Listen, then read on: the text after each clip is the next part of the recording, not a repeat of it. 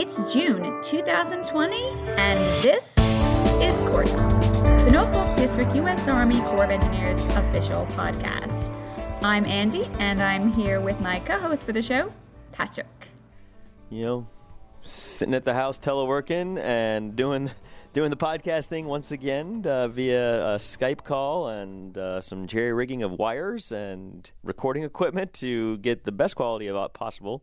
But you know what? I, I kind of wish the audi- our listeners could see you right now. You know, with your bandaged hand, with the video camera going on, with the with the mic. It's pretty. It's pretty. You have two sets of headphones on, I believe. Yeah, well, yeah, okay. So yes, I I injured my hand the other day, so now I've got a bandage on it. Um, yes, I do have two headsets on. One is the Skype mic that I can sit there and talk and through, and then underneath that, I have earbuds in, which is actually connected to the video camera, which is doing the recording on this end, so that I can monitor the audio quality. So it's quite the sight. I was gonna say it is. It's it's quite the setup. So I don't know. Maybe we'll have to see if we can start implementing some uh, video into at least the uh, the YouTube uh, uh, podcast. So this month, um, the theme that seems to be running through our segments and and I, our lives really is the idea of preparedness. I got a chance to sit down. Um, via Skype with some of our folks from the city and the Corps and talk about what we're doing on the front of hurricane season as it applies to uh, the Virginia Beach area, the city of Virginia Beach area. Um, and you too, Patrick, you got to sit down with some folks and talk preparedness. Yeah, uh, so uh, I got the chance to uh, bring together two of our emergency management uh, folks uh, to talk about um, the Corps' role when we respond to a national disaster emergency situation, and you know and how we're going to accomplish that uh, moving forward uh, with the social distancing guidelines and all those items that are related to COVID. Plus, uh, you know, the one thing that we did already do uh, is we responded to um, the COVID pandemic uh, months ago. We were, looking at doing the alternate care facilities, and so I talked to our emergency management folks about uh, that aspect, um, and, and and really just looking at what we were able to accomplish and, and how it set us up really to to be in a position of success should a hurricane come. And lord knows we're now three in and not even a full week or at least one full week into hurricane season. We've already had three named storms. So uh, mother nature in 2020 doesn't appear to be wanting to play nice either I, I have to say this, though, Patrick. 2020 is giving us a lot of product to talk about on this podcast. I don't know if it's good or bad, but man, we are not at a loss for uh, for things to say as as part of our mission. Uh, there's so much coming out that you know that we're we're responding to, and then preparing uh, for the next item to come down the line. Although I do have to say, I think we did miss the the murder hornets. It was a thing for a short period of time. I'm sure they're still out there, but you know, one one of the things also on that preparedness uh, uh, side is is you know, we're looking at the long term um, impacts of sea level rise and coastal storms.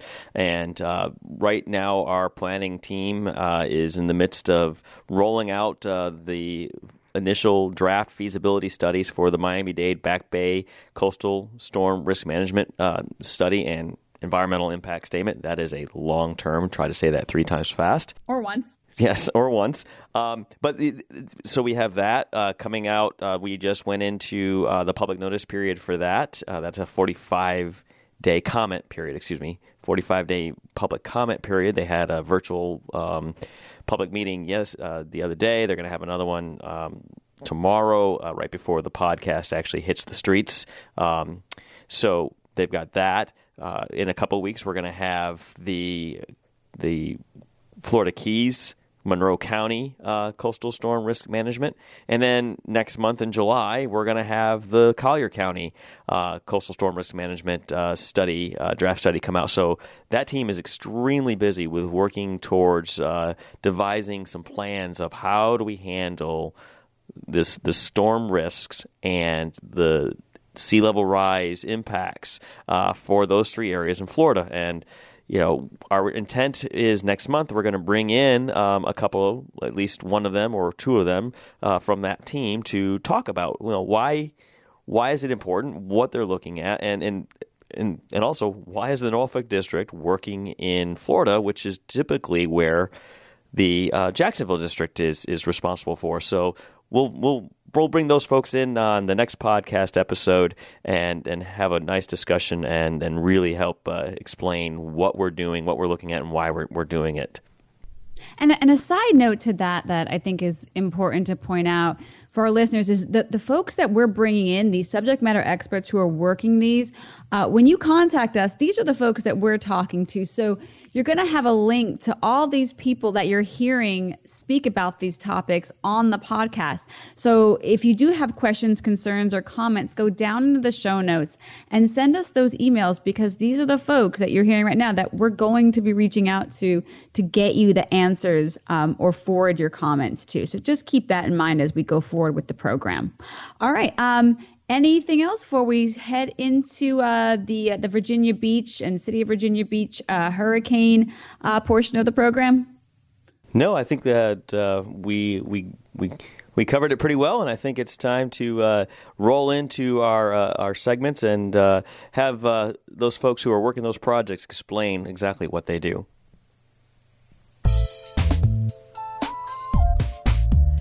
So you'll notice in this segment that the audio is a little funky in the beginning. That clears up a couple minutes in, so just bear with it in the beginning and uh, keep listening. It does sound a little smoother as we go forward with the uh, with the interview. All right, thanks. All right. Think of beach renourishment like going to the dentist. Even when everything goes well and you're prepared and you've flossed, it's still going to be, at the very least, irritating at some point in time. And you know it's necessary if you want to be safe from the results of neglect. Um, but it's never fun. And the level of trauma varies each time based on other factors going on in your life at the time. Now, I can make that comparison because I'm a registered dental hygienist in the state of Pennsylvania, so I get it. And I've also gone through two beach renourishments with the Norfolk District. So I dove myself qualified to make the dental civil works comparison. Now, what I've learned few things in a beach community cause more turmoil and relief than beach renourishment. If you're not a coastal native, you might not even know that a beach needs to be replenished. And even if you are a beach goer, maybe you've heard the term, but very few know the ins and outs of this often misunderstood process. So we're calling this segment Beach Renourishment for Rookies. And with me today are three experts from the Norfolk District and City of Virginia Beach who are going to guide us land lovers through the purpose, procedures, and process of a beach renourishment. Hello, everybody, and thanks for coming aboard. Hello. Hi. Very cool. All right. So um, let's have Jim uh, from the City of Virginia Beach. Mm-hmm. Let's have you introduce yourself and tell us a little about a bit about your um, your position with the city. Sure. Yeah. Uh, again, name's uh, Jim White. I'm, uh, um, I work in Public Works, uh, Coastal Engineering section of City of Virginia Beach. My title is a project manager. That what that is is that I oversee um, from initiation of project, schedule, budget on behalf and the side of the city, um, overseeing projects to make sure that they uh, they go from kind of a soup to nuts type of scenario of of from paper out actually onto um, onto the, like in this case onto the beach. Um, and, and, then at the same time, working with the Army Corps of Engineers on a federal project, I'm basically the liaison project manager representative for the city of Virginia Beach um, on behalf with while working in partnership with the Army Corps. Okay, and now from the Norfolk District, we have Ashton Burgin and Kyle McElroy. Ladies, let us know a little bit about you, who you are, and what you do. Ashton? Uh, yeah, hello. My name is Ashton Burgin, and I'm currently a Civil Works Project Manager for the Norfolk District. My project portfolio, portfolio currently includes two hurricane protection projects. Um, these are the Virginia Beach and the Sandbridge Beach projects. They require regular beach renourishment to protect the Virginia Beach communities from hurricane storm damage. Kyle McElroy. I work in the um, hydraulics and hydrology and coastal uh, branch of the engineering section. Um, and I've worked with the uh, Norfolk District for about a year and a half now.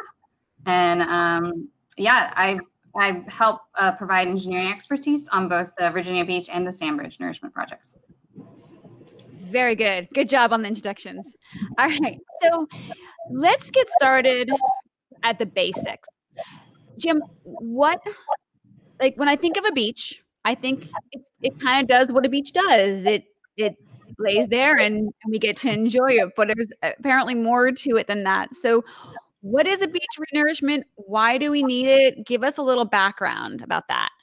Sure. Um, well, with regards to um, beach nourishment, it's, it's primarily fueled as a result of you have an established community, and we have a, a community that is actually on um, kind of uh, a moving environment.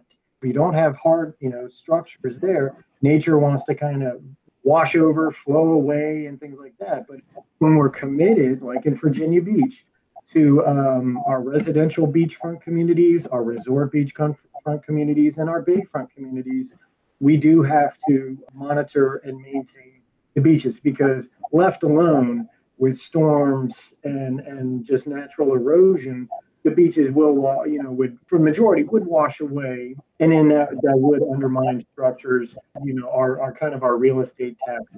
Just a side note is that there are over 450,000 residents in Virginia Beach, and we have almost over 20 million visitors that thoroughly enjoy coming down to visit the beach. Um, just like a road, I always like to do the comparison to a road is that you design, you lay out, you build a road, and then when you asphalt the road, let's say, you don't just walk away. You have engineers and maintenance folks that come back and they will identify the road and re-asphalt it. Same difference as with a beach nourishment. Um, if we just nourish it once walk away, well then we could end up having running risks of storm damage to the structures.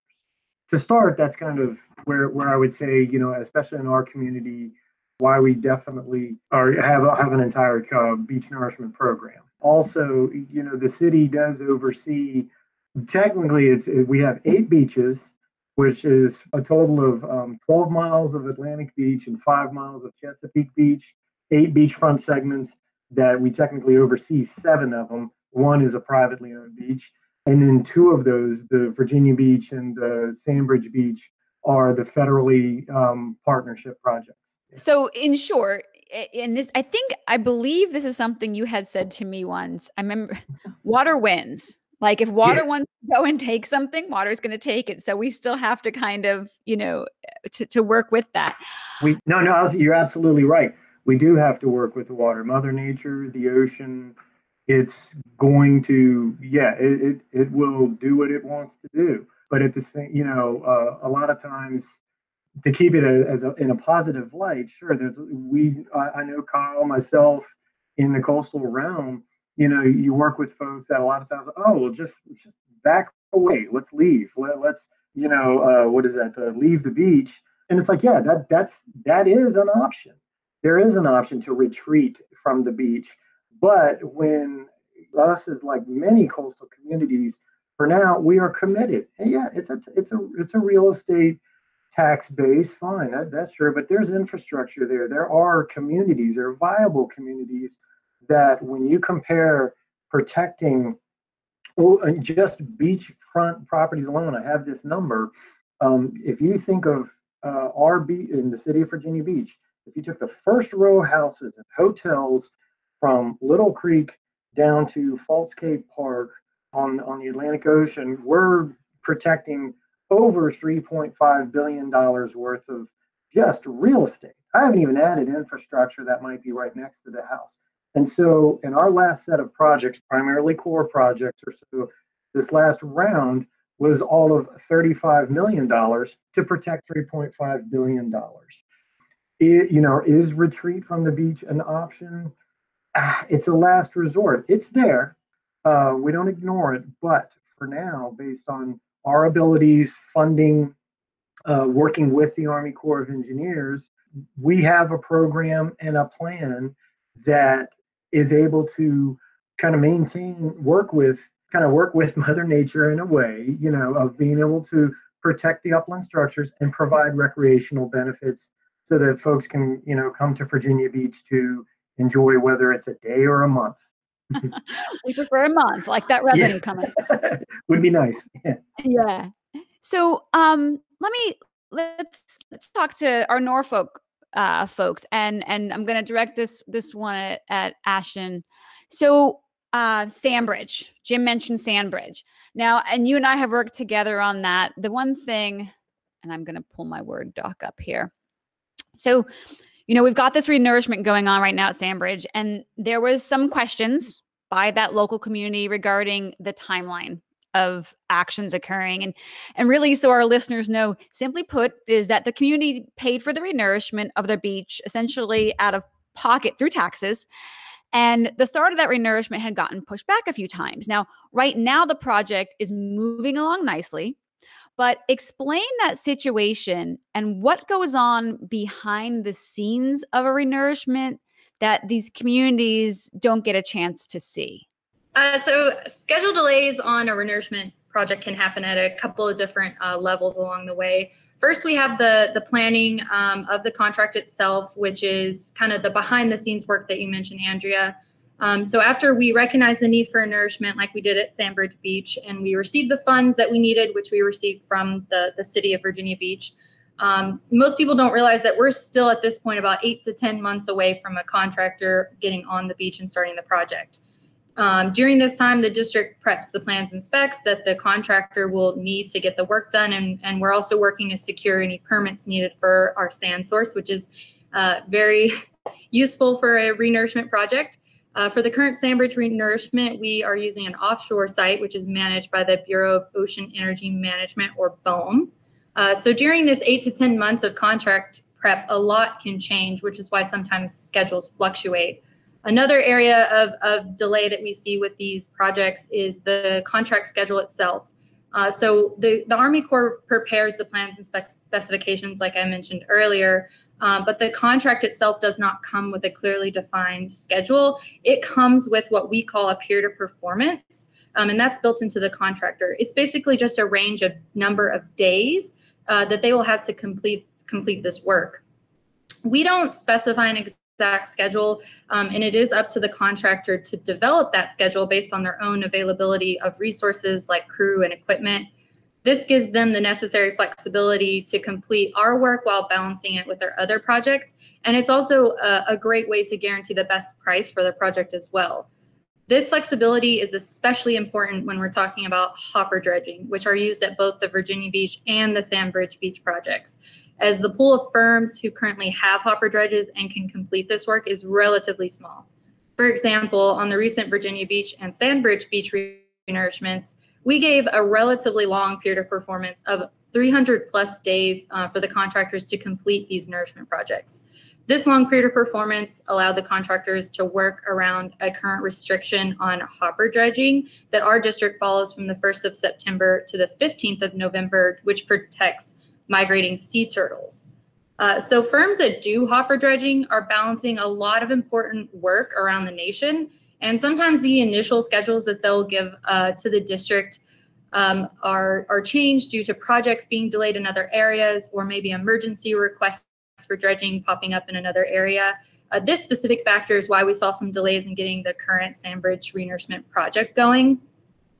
Uh, so all the factors that I just discussed combined can lead to a few schedule changes along the way for just one renourishment cycle. Uh, we do understand that these changes can be really frustrating to a community while they're waiting to see their project get started. Um, but at the district, we do think it's important to allow the, these flexibilities so that we can continue to meet the dredging needs of not only our own communities here, but but also communities around the nation as well. Now, how and, and anybody can answer this one. How many um, dredge companies are there? There aren't a lot, are there? No, Kyle, do, do you know more specifically, I guess, the number? I, I don't know the, the amount because in different regions of the US, there are small dredging companies that do more local dredging projects themselves. But there are three, I know what I consider like the largest dredging companies in the US, and that's Great Lakes Dredging Dock, which is uh, doing Sandbridge and who also did the Virginia Beach. Manson uh, Construction and Weeks Marine are the three largest. Um, and they have some of the largest hopper dredges, which, as Ashton mentioned, are the dredges that we uh, use for these uh, beach renourishment projects as well. Um, there is a one other large hopper dredge that I, I'm forgetting the actual official name of the company. They're they're kind of like a Dutch affiliate company, but um, you know, in in the U.S. we have the um, the Jones Act, which restricts the Dutch um, and the Chinese and basically other international uh, companies from actually doing any dredging work in the U.S., uh, um, especially with hopper dredges, which are in the U.S. have to be flagged U.S. vessels. So the Jones Act restricts that. Restricts that. So our dredges in the U.S. are actually a lot smaller than the ones around the U.S. That may be a little bit of a tangent. But the Stuyvesant is a hopper dredge, which is I think owned like this partnership between a U.S. company and a Dutch affiliate, which is also one of the largest hopper dredges in the U.S. But it, it's it's kind of hard to say how many dredging companies there are, just because there are in re- different regions, like in the Gulf and along the East Coast, there are some smaller local uh, companies that perform much more um, just smaller scale projects. Right. So, and, and in the end, and then to go with what Ashton was saying, it's not like just hey, we want to renourish the beach. Let's call up a dredge company and get to it. There's, you, you know, you have only so much time, only so many available assets, and your window is is small. But yet, and and tell me if I'm wrong, but being a federal, you know, agency or even a, a city or a local, you know, you, you don't you can't really go in there and tell this company how to do their bit, how to do their job. You know, you have to be start at this time, and you know, you have to do this. I get a kind of feeling like, you know, we try to give as much liberty for the business to do how they do it without the government their interference. Yeah, no, yeah. that's absolutely true. And as Ashton was talking about the schedule and and just with the fact that there are a limited amount of big dredging companies in the US and we can't use uh, due to the Jones Act, larger vessels, scheduling can become a, a huge issue when it comes to beach renourishment projects. Uh, I mean, think all the, especially with all of these uh, um, uh, ports around the U.S. starting to deepening and widen their channels to allow for larger shipping vessels. That that's one of the reasons why uh, the Sandbridge project was delayed, just because hopper dredges are traditionally used for this type of work, especially when stuff is offshore, like more offshore channels. You can't use hydraulic dredges. Um, which are more for inland and sheltered environments, just because those are like barges, whereas hopper dredges are their own self-propelling vessels and they can work in, in offshore environments. So that, yeah, that's just a huge um, consideration. Kyle, I love that you're a dork for dredges. Like totally well, I, like well, I did work for a dredging company for five years. So there you go. subject matter expert, but that was cool to watch. You were just in your element. So let's let's talk about you and, and what you know. You you you've worked for a dredging company. So what do people we've talked about the, the behind the scenes kind of stuff and, and what goes into getting the dredge company there and starting the process. But what does it look like? Somebody walks out on the beach. What are they going to see? What do they need to know? And what should they be prepared for? All right. Well, there are kind of different phases of dredging. The first phase you can talk about is the mobilization, and usually the first thing people see um, is the the what we call the subline coming up from the seafloor. Um, and that that is just a line like of about 30 inches in diameter pipe, metal pipe coming along the seafloor, going out to a depth in the ocean to which, because different dredges of different sizes require different depths in the ocean to where they can actually hook up to, especially hopper dredges called draft. Um, and so that's usually the first thing people see and the thing that they're most curious. They're about what is this line coming up from the ocean. Most people confuse it for some sort of storm water or something being like something bad being pumped up from the ocean, but that's usually the first thing. And then you get the mobilization of the heavy equipment used uh, on the beach itself, which are um, dozers and front end loaders to help move pipe. So those are the things people normally see in the beginning, and that usually doesn't cause any conflict because the footprint during that time is very small that, that a contractor has.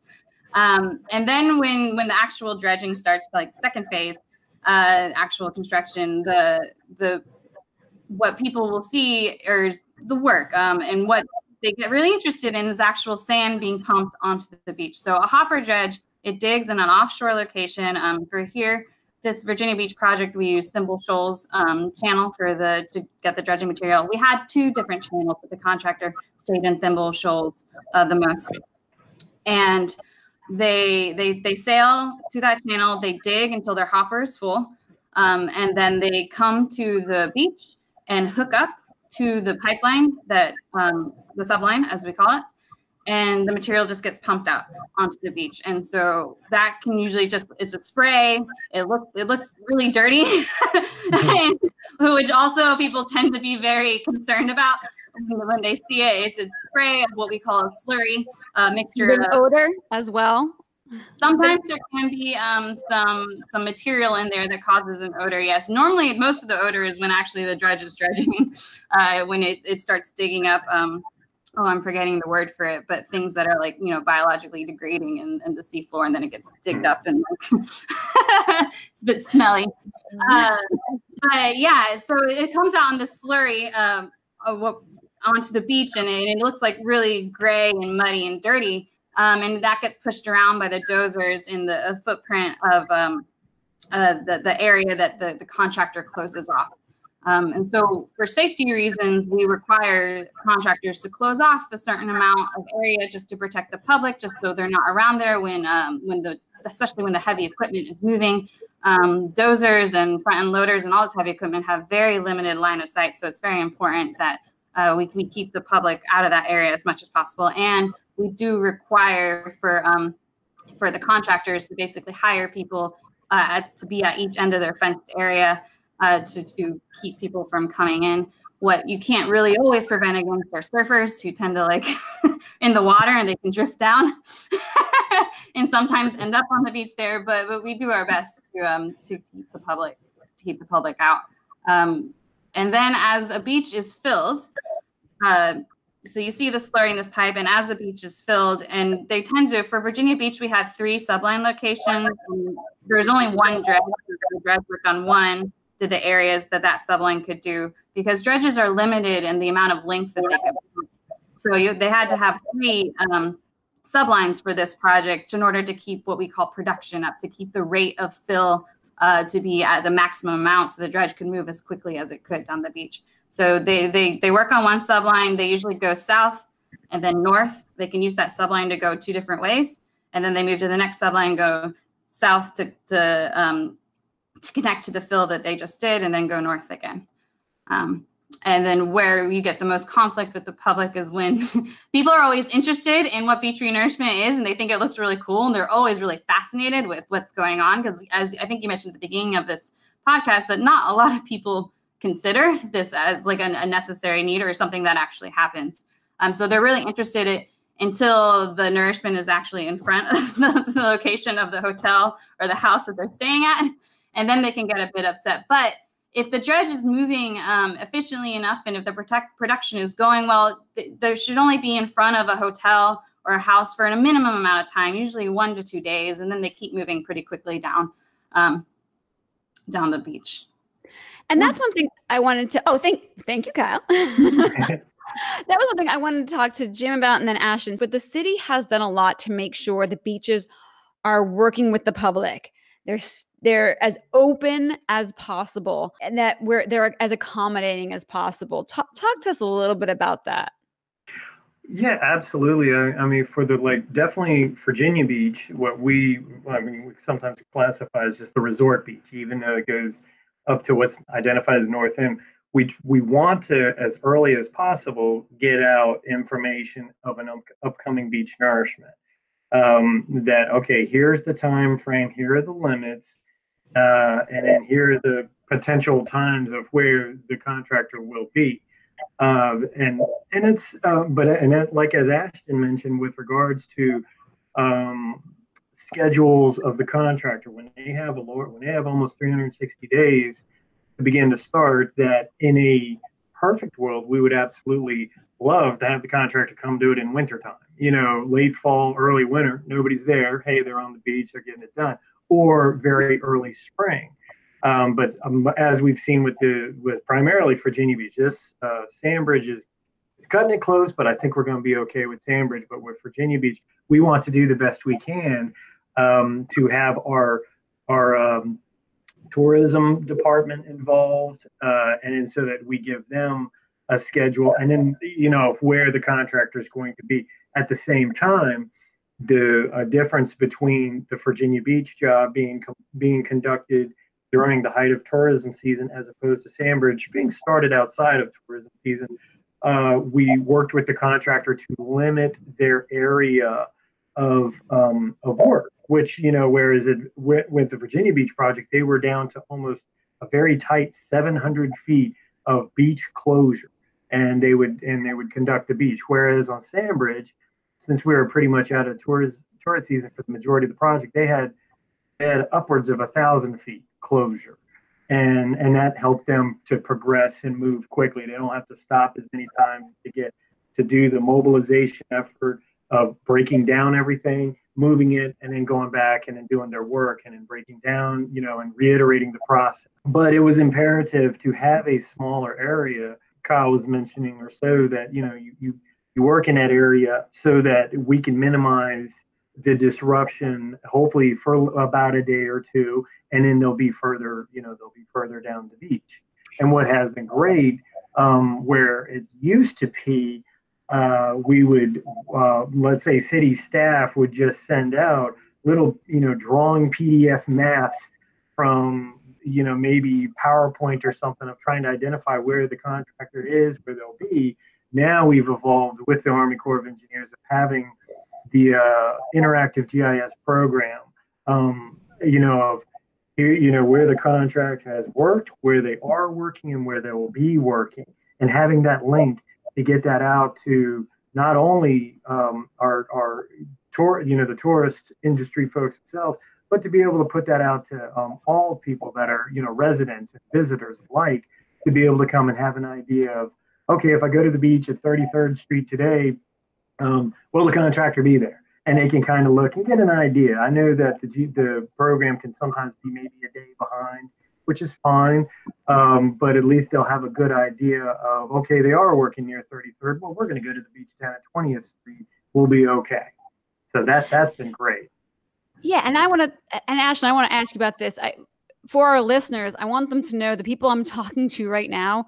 When you email your questions in, to the public affairs office of the district or the city. These are the folks who are actually are getting pinged relentlessly by me most of the time and they are answering your questions and your concerns. So uh, the, between the news media to um, people when are you starting? What's going on? Um, i'm reaching out to these folks right here and they bend over backwards to make sure they're answering your emails and getting you your information as soon as as it becomes available to them or as soon as they know so speaking about that, Ashton, um, so tell us a little bit about um, for you working for the on the federal side, uh, trying to get that, trying to communicate that as well. We're, we're talking about the viewer. Tell our folks a little bit about this viewer. Yeah, so like like Jim mentioned, the viewer it it's something newer that we started using. I think last year at the when we did the resort beach renourishment. Um, and it's basically a publicly available um, link that our uh, geospatial specialists here at the Norfolk District can update uh, daily or as quickly as we get updates from the contractor. Um, it's a it's an interactive mapping um, web page, so you can actually move around and look at different sections of the beach. Um, we try to keep it updated with uh, basically the schedule of, of where the contractor will be um, and where the beach closures will be. I think this was a really good uh, step in the right direction of keeping the public more up to date on uh, what's going on with beach renourishment as it's happening. Uh, like Kyle mentioned earlier, it's really important while this is going on that we keep the public safe, um, but we also want to minimize any inconvenience they experience um, while just going to enjoy the beach as well. So we've had some great success with this viewer. Um, we try to publicize the link as much as we can. We're using it right now for the Sandbridge renourishment as well, and I, I think it's something that we're going to continue to use in the future on on each cycle. And that link to that will be in our show notes for for the listeners. Jim, you look like you're going to say something. Yeah, I just wanted to reiterate with Ashton that uh, of the for quite some time that I've been doing beach nourishments now. It's amazing to think how many years I've been doing them. That coming from uh, you know, just trying to constantly be in phone contact with your um, stakeholders and just giving them little individual maps that are probably a few almost a week or two behind to now evolving to this viewer and knowing that although it's going to maybe hopefully be seven years or five to seven years before we do another see the uh, next round of, of nourishments that that viewer will evolve however you know user friendly to know that we have that because with sandbridge specifically uh, it has helped so much that i'm able to relay it and the folks out there they can look at the viewer you know like this is great you know as opposed to the little the little maps which they did fine they were good for their time but this is i'm glad we're going this way. We also don't use phone books anymore either so i mean about that time sorry sorry jim not to take no, hey, not, not behind, yeah all right so kyle here's um since you i'm gonna have you be our our dredging up you know, I call you the dredging dork, but my, my person. What can what, the dredging guru? Okay, I like it. What can the people in the community, um, those listening or those who are um, going to be going to the beach or who live, let's say at Sandbridge right now, what can community members do to help the process um, to be understanding and patient? yeah, I think that's the biggest thing. Um, I mean, beaches are yeah just getting the information out there is most important because a lot of people don't understand it i think i mentioned before that the slurry comes on and it looks really gross but once it's dried out and the sun bleaches is out the sand looks very nice but a lot of people are always concerned when they see like how uh, muddy and dirty that it looks to begin with because they think we're putting worse material on the beach than um, what was originally there, which is not the case when you design a beach renourishment project. You try to find um, material that is of similar quality to what's existing on a beach. Um, but yeah, just uh, be understanding. Um, I mean, I think it's just to be not too frustrated with with it in front of your uh, a, a apartment or rental that you're using. Um, that's the thing, and and uh, I know hotels and stuff can can help out with that by, as Jim mentioned, the viewer and just making knowledge of that to to their um, you know res- not residents, but the the people staying at the hotels. Um, but yeah, other than that, there's not much. people have very little control over what happens on a beach. Um, right now, Virginia Beach is, is and, and, Jim and me the most recent monitoring survey, and it looks pretty good. Uh, we did have a fairly active winter season this year with a couple of nor'easters, and um, we had Hurricane Dorian and another tropical storm, Hurricane Erin, or tropical storm Erin. Um, so it was pretty active, and, and you always expect right after nourishment for a beach to immediately redistribute itself because it's always it's trying to find an equilibrium, and that's something that people um, also just need more understanding about. Um, you, you expect like when we put sand on a beach a lot of things people say is like oh it's just going to disappear. Well it doesn't really disappear. It stays in the system. You just may not see where it is anymore. Like it may it'll be the new sand that creates those offshore bars that surfers and stuff like um, so it just redistributes itself and, and it finds um, it, its equilibrium i mean when we design a beach we create a template uh, but we don't as i said we just you, create that template to make the the redistribution go as smoothly as possible. But it's still very difficult just because you can't place sand on this very um, to fill a slope as we do on the beaches. It's very difficult for contractors to do. So so you just try to make a, a template that's easy to fill, knowing that it'll be redistributed lately. And right now, if anyone goes out to Virginia Beach, it, it looks fantastic. Like the beach looks great, enough space. I've gone out there a couple of times recently, and every time I always say it's one of the healthiest beaches I've ever ever seen. Um, I love hearing beach people talk about beaches. You guys just talk about in like a totally different. Y'all are engineers, and your minds think differently.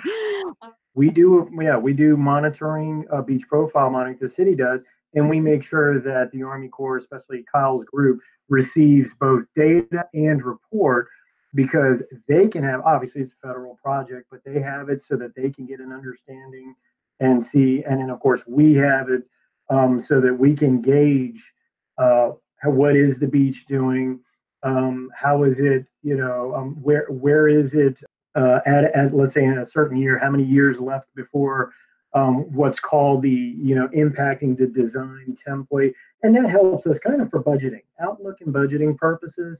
But to add to what you know, abs- absolutely what, what Kyle had mentioned that a lot of folks, you know, after you've got a nourishment, you know, a few months later, or like we had some storms this year and we, we lost some material, or what appears to be lost material. It's just material shifting offshore, as she said.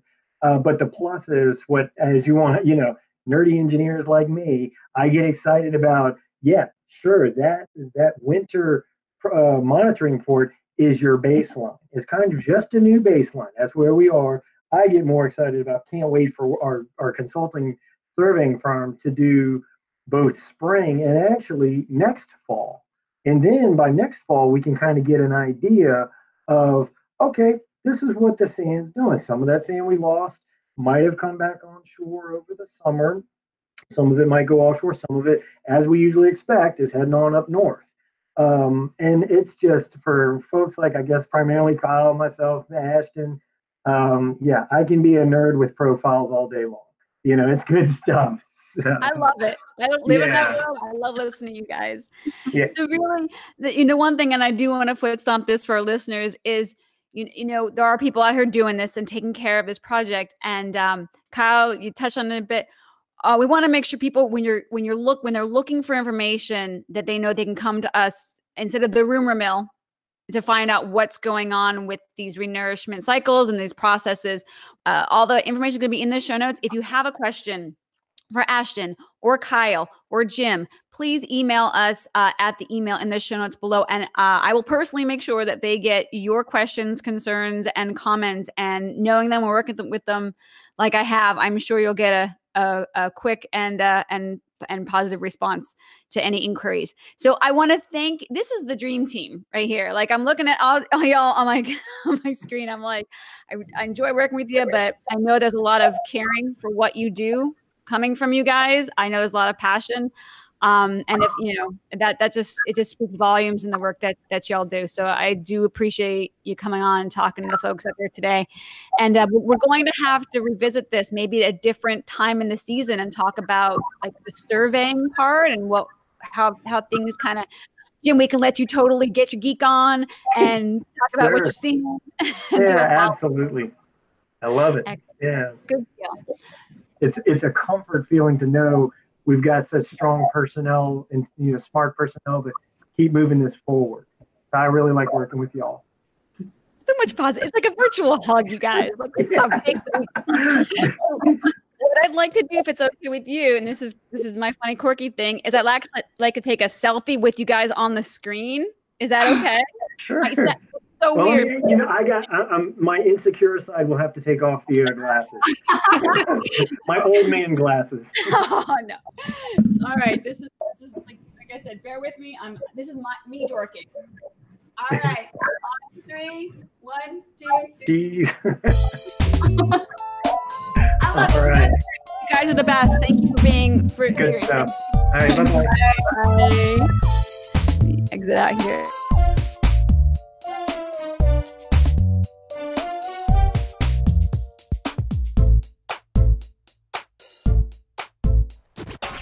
So I'd like to welcome to Corps Talk Wendy Ireland and Alex Schlabach with our Emergency Management Office. Welcome to the show.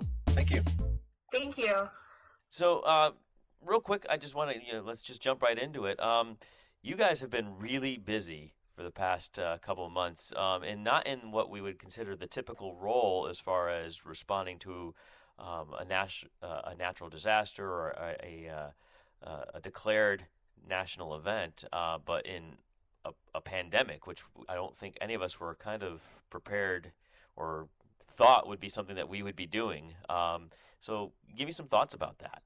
So, I'll go first if that's okay. I um, I don't think it com- caught us completely off guard. We did see in the news that this was coming from uh, overseas, but we have not done as robust planning for a pandemic as much as we do for uh, natural disaster type events. We've been very active in, in um, lots of other contingencies, but um, having not experienced a pandemic to this level, um, you know, there are things that have happened that I never had expected. Um, our pandemic planning is is really um, being able to conduct the mission essential functions of the Army Corps of Engineers um, while while still you know operating and and maintaining a safe working environment for our employees. So um, it's been busy, and maybe Alex has another comment about it. Yeah, so it really was. Um, it kind of caught me off guard in a way.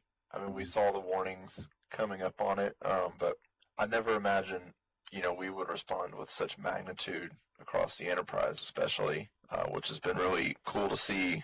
Um, and then just taking that and working it into this upcoming hurricane season and how we're going to respond uh, during the COVID environment. Yeah, this is uh, the first time I think in our history that every single Corps district um, that's stateside uh, was activated in an emergency response function.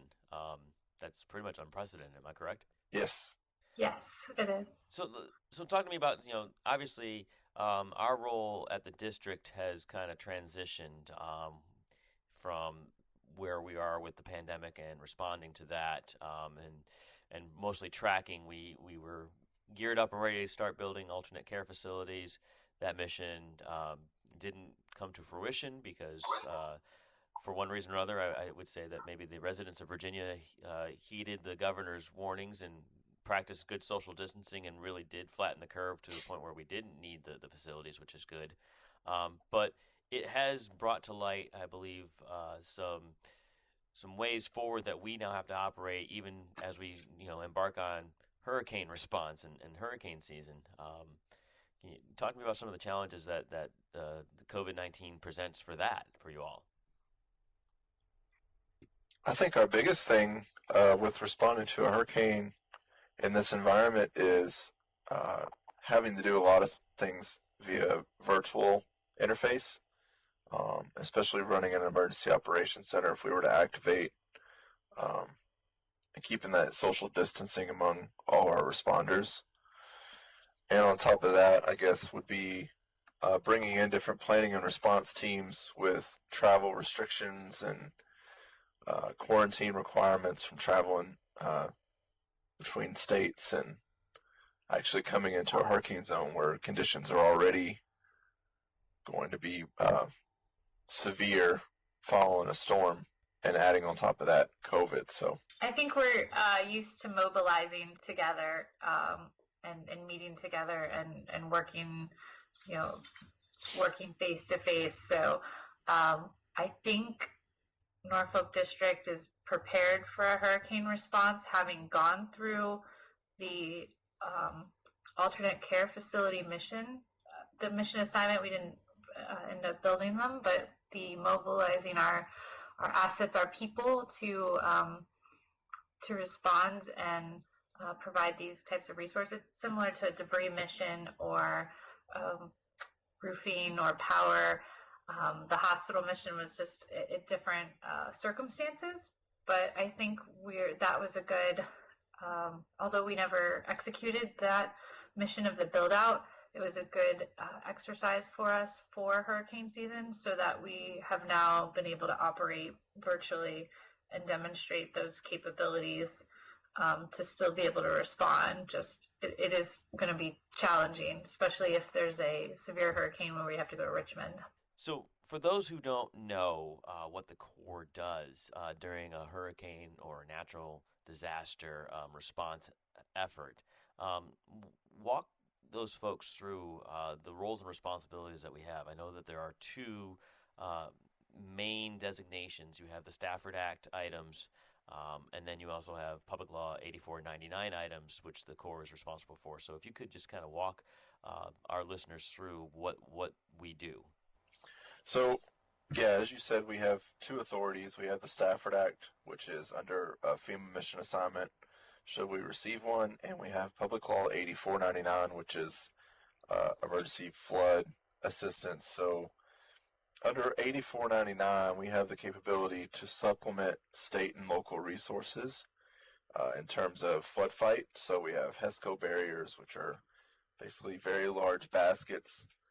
Um, that we're able to fill uh, to prevent floodwaters uh, from encroaching on uh, critical infrastructure. We have sandbags that we're able to deploy across the Commonwealth.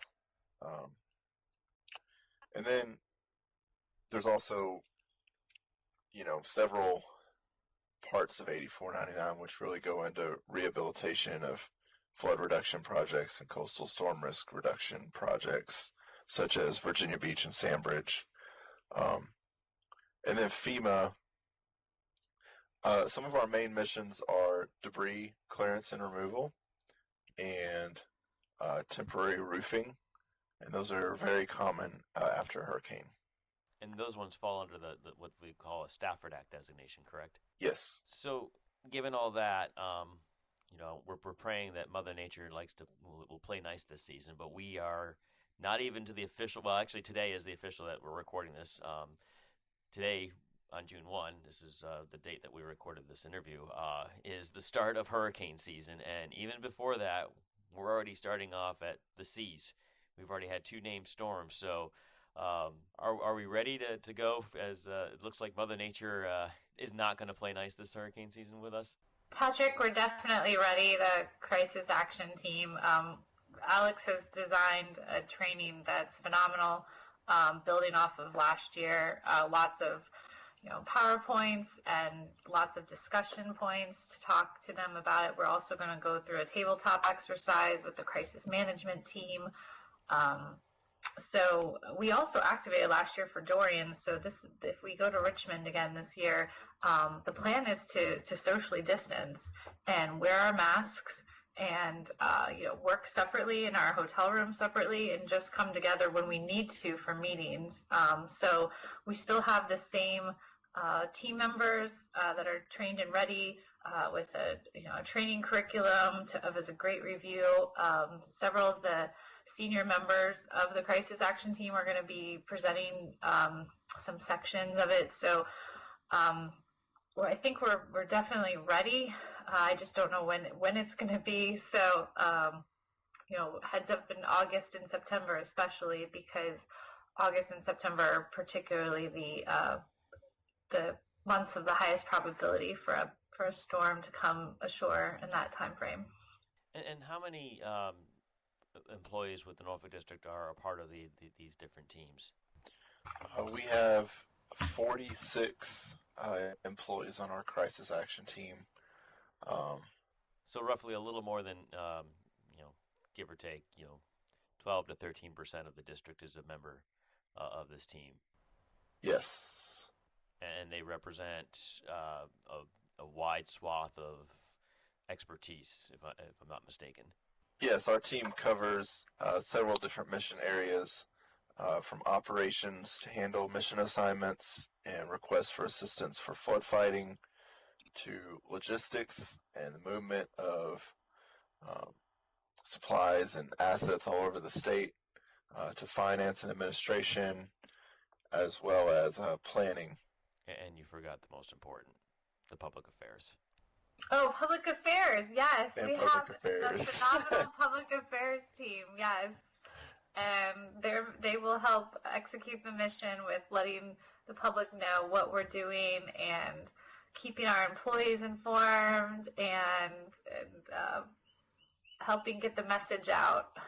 And I have to throw a disclaimer as I am one the member on that team, so I, I had to put that out there. Um, I am not the most important uh, by any stretch of the imagination. Um, definitely are, are you guys are, and um, uh, the leadership and and all the other ones who actually get the work done. I just you know you all make my job easy with with. Uh, I must say, everyone is equally important on that team, Patrick. well, as I was saying, though, they, they, all make my job easy with you know getting the missions done and, and really supporting the. The, the citizens of, of Virginia and in the United States with uh, you know reacting and uh, working to get those uh, those communities back up and running as fast as possible.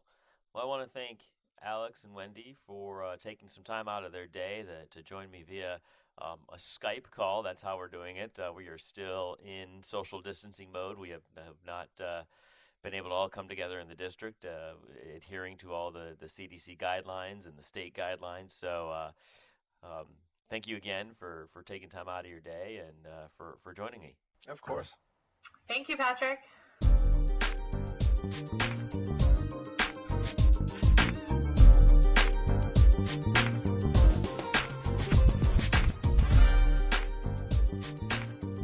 And here's your Norfolk District news for June 2020. The Corps announced its Gathright Dam pulse release dates for 2020. The Norfolk District is slated to perform six pulse releases from Gathright Dam and Lake Moomaw in the Allegheny Highlands of Virginia between June and October of this year. The U.S. Army Corps of Engineers and Miami Dade County, its non federal sponsor, hosted a pair of online public meetings this month on the Miami Dade Back Bay Coastal Storm Risk Management Feasibility Study. The public was invited to learn more about the study and its findings at the identical virtual sessions. The Army Corps of Engineers will also host a virtual public meeting on June 24th from 6:30 to 8:30 p.m. to discuss a proposed remedial action plan for the area of concern at former Nansemond Ordnance Depot in Suffolk, Virginia. And finally, in preparation for the 100th anniversary of the dedication of the Tomb of the Unknown Soldier in November of 2021, the Norfolk District U.S. Army Corps of Engineers has awarded a more than $6.3 million contract to clean, repoint, and provide universal access to the exterior of Arlington National Cemetery's Memorial Amphitheater. All these stories and more can be found on our website, and that link is in the show notes. As always, thanks for tuning in this month. If you or someone you know is interested in working for the Corps of Engineers, go onto our website found in the show notes below and over to the Careers tab. We have a list of direct hiring actions as well as those listed on USA Jobs. Until next time. This is Corps Talk. Corps Talk is the official podcast of the Norfolk District U.S. Army Corps of Engineers. Submitting emails or voicemails to Corps Talk constitutes permission to use that content part of the broadcast. Corps Talk is recorded at the Norfolk District Headquarters Building in Norfolk, Virginia, and is produced by the